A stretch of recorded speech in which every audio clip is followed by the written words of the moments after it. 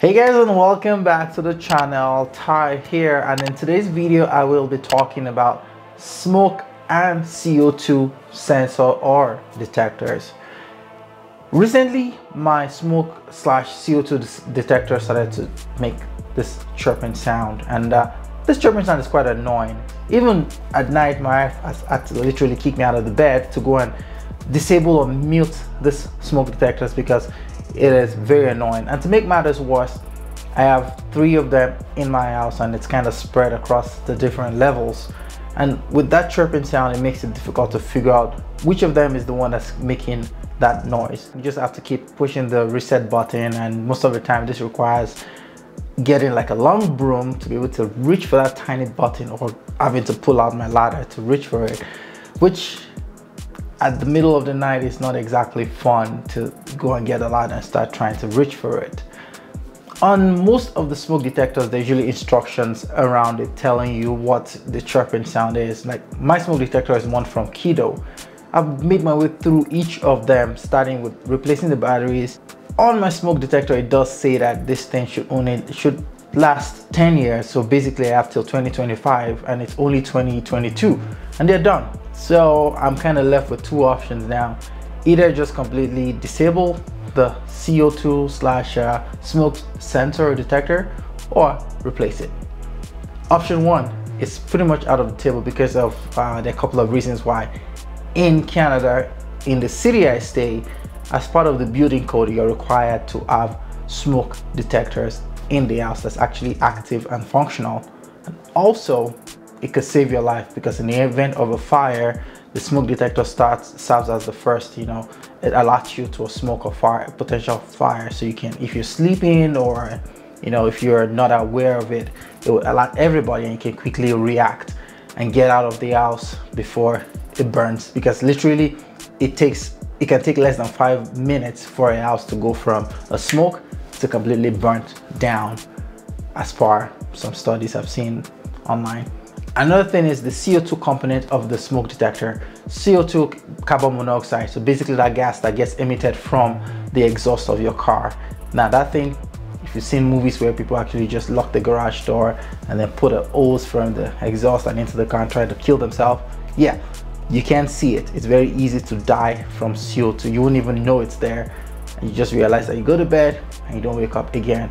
So that's a very dangerous gas. So that's why it's very important to have this sensors around the house.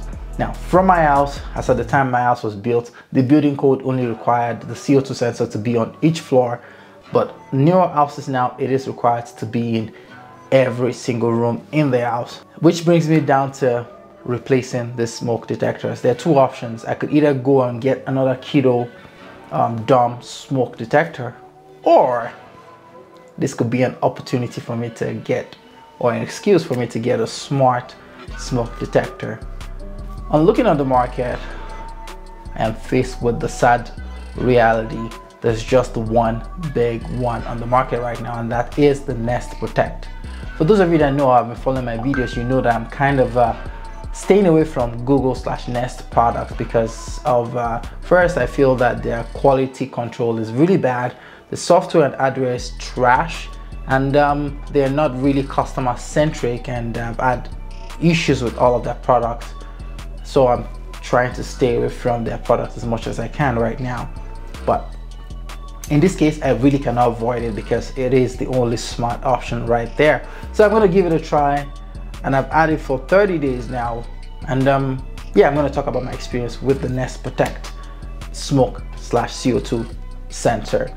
Starting with the price. Now this thing starts out at 149 Canadian dollar and um, you can either get it in the battery or the non-battery option with the battery backup. So basically what that means is that the battery option runs purely on the battery. You know when houses that were built a long time ago that didn't have pre-exist that didn't get wired up for smoke detectors got equipped with the battery option. But newer houses will always come with the wired option. So you should always go with the wired option with the battery backup if your house does permit. So never go for the battery option to replace a wired option. First of all, it connects to all, you know, you're able to connect to all the other smoke detectors so they can kind of talk to each other. The battery option should only be used for backup. So when there's power outages, then the battery will kick in. But I did pick my own up from Costco because we can pick up a two pack of the smoke detectors for about 284 Canadian dollars. So to me, that was a better deal than picking up from the Google store. Installation was, was very easy actually. I literally can install it with my eyes closed. Few wires to deal with, right?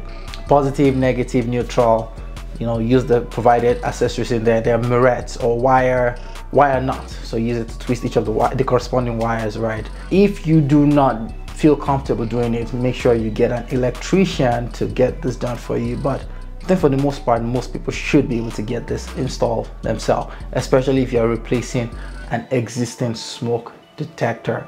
The manual provided by Google gives you a lot of information and also Google as the installation guide on their website as well. Moving on to the features of the smoke detectors. Now there's some pretty amazing features about the smoke detectors and not so amazing features about it. Starting out with the fact that this thing actually comes with the smart ability, obviously, because it's a smart Nest Protect smoke detector. If your Wi-Fi is only enabled for 5, unfortunately you'll not be able to connect this to your Wi-Fi.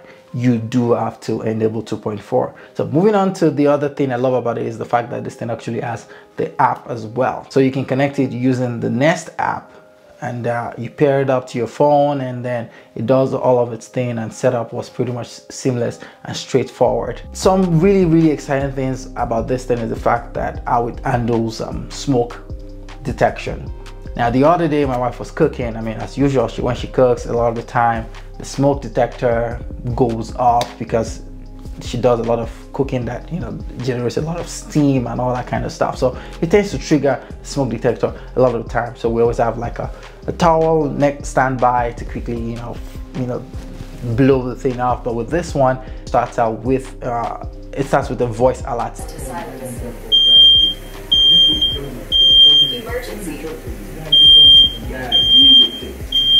And it tells you where because when you're setting up the smoke detector you have to tell it which room you're setting up that corresponding smoke detector. So when it goes out it tells you where it is detecting that smoke from so you don't have to keep you know running through all of them to figure out where it's coming from. It then sends out an alert to all of the connected devices. So the phones ipads you know everything and then you're able to get alerted to that medium and you can actually go ahead and disable it using the phone if you realize that it's just a false alarm. Or if you prefer the old traditional method, you can actually go and push the physical button that's also on this Nest Protect to disable that chirping sound that is very annoying. Another thing that is really crucial and very important and I really do like about this Nest Protect is the, the self-test feature. Now, for every CO2 slash smoke detector you have in your house, you actually have to do a weekly test on them. At least as per the Kidde brand, you have to do it weekly. You have to actually go up there push the test button let it do its thing you have to do this weekly to make sure that this thing is fully functional. But with the Nest Protect it actually does a self-test itself. So you set up a schedule on the app and then the thing does the test itself. And you can actually go into the app and look at the you know the test logs. The battery backup like i said i got the wired with the battery backup option. So you can actually look at the battery status as well. So unlike the you know the dumb smoke detectors where it just keeps you have to keep counting all of the chirping sound and the, you know doing the timing in between to see what the problem could be the fact that this smoke detector can actually tell you what it needs and what it doesn't need. You don't have to deal with the situation of a baby right? When the baby is crying you don't know why they're crying and you're like trying everything to figure out what was causing the baby to cry this smoke detector solves that problem Open up the app and it tells you what the problem is. While this smoke detector excels at a lot of things, there are major downsides to it as well. The fact that it uses the Nest app is the biggest turn off for me. Now the Nest app, I've been trying to get away from the Nest app. So any product that uses just the Nest app, I, I typically don't buy them because I think Google should have phased out the Nest app by now and moved all of the products to the Home app. So Keeping the Nest app around just means that now I have to have multiple apps in place and I have to figure out integrations between all of them, which is a pain in the butt. And uh, yeah, the Nest doesn't quite integrate nicely with anything else. I mean, even my Nest doorbell that's still on the Nest, the only device on the Nest app, besides my smoke detector now, it's been years of me struggling and trying to get it to integrate with my home assistant platform to do other automation around my house, which is frustrating. Using the Nest app, it forces you into a subscription model. I'm getting a smart home so that I can reduce my cost increase safety, increase privacy. I don't want to pay subscription fees. I want to buy it and be done with it. For most houses, especially with the new building code, you're going to be having at least four to five, depending on the number of rooms you have. So say even a two bedroom house, you have your two bedrooms, your living room, your basement, whatever, right? You'll be needing at least two to three of them at $150 each. So that puts you at at least $450 in terms of uh, smoke detector alone and it only has a limited lifespan of 10 years just like the Kidde dome smoke detectors. 10 years and it's no good. You have to replace all of them again. So I can't really resell it or use it beyond that 10 years even if I didn't want to replace the product. I have to replace it because of the safety side. I think overall with my experience of the of the Nest um, Nest Protect I am I think my biggest uh, my biggest beef with Google and the Nest product line is one of the biggest turnoff for me. And uh, coupled with the price point and the subscription model and the lack of integration components between the Nest platform and any other platform, and even within it doesn't work nicely even within the Google Assistant platform itself. All of this, if I'm going to spend that much money on a product, especially if I have to replace a lot of them, I like to see something that has a very long lifeline as well as integration with something else, right? I don't want something that ties me to just them, which is what the Nest Protect is doing right now. I'm limited to just that. And if you want to get some advanced features, you only have to use, you have to pay for the subscription, the Nest Protect subscription. And uh, yeah, I'm anti-subscription plan and yeah, it pretty much fills it for me. So based on all of this and right now my current issues with Google I am going to be not keeping this product. I'm gonna go and buy the Dom Kidde brand for now and um, when there are other options on the market I'm hoping some other manufacturers can come out with other options out there.